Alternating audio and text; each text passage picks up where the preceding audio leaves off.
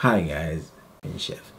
If you're watching this video, happy Valentine's to all you lovebirds. Be, today I'll be teaching you how to compose a nice little dish for your loved one. So stay tuned. Let's get to the show.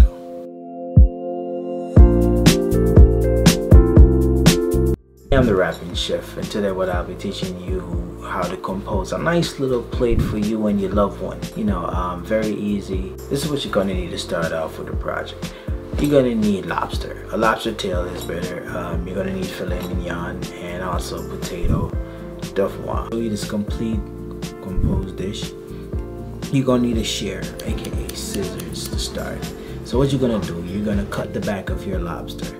Make sure you cut it all the way, not all the way through, but up to the top. You're gonna take your hand, break the shells from the belly of it, and then you're gonna pluck the meat out of it and spare the shell. You don't wanna break the shell because you're gonna need it to rest your lobster on.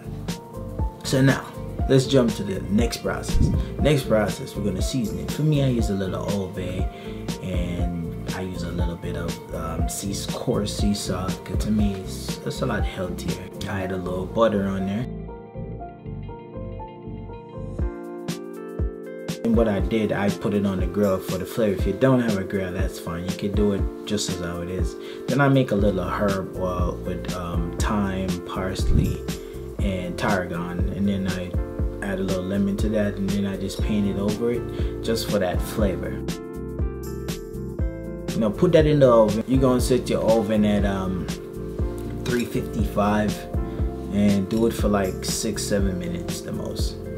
Filet mignon. I eight ounces. I put some Montreal season, very simple. I put it on a plate and then I use the filet to sort of sap up the season so it sticks on there and says, well, what I'm gonna do now, I'm gonna grill that for roughly about eight to nine minutes, depends on the temperature you want it. Crisscross to get diamonds and get, for me, I like to see a nice diamond color on my filet mignon. It looks good. So we're gonna check back the lobster, pull it out, it's done. So that herb oil that we make with the lemon herb oil that we made you just use that and sort of base the lobster a little bit add more flavors to it and then boom your lobster is ready. It's ready to serve. So what we're gonna grab now is gonna get the potatoes.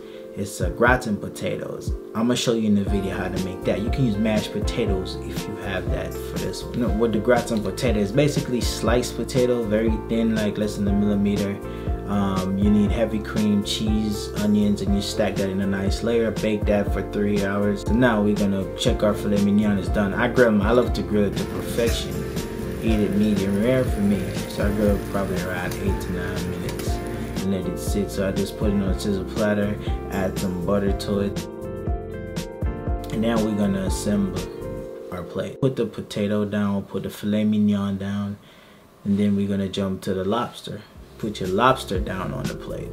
And then we're gonna add green bean as our veggies. And then we add a little green beans to it. French beans mostly, if you wanna use it. You can get them snip if you want to, or just buy them and cut them yourself. And then we add a little demi-glaze on there. And then we add a little drawn butter on there. And that's very simple. That's a simple dish for your uh, Valentine's. You cheer anyone up. And for dessert, the, uh, we, you can have like a little lemon sorbet. Um, it's really good, very light, and you'll enjoy it. And that's a real quick and simple dish for your Valentine's. Thanks for watching. I'm the Rappage.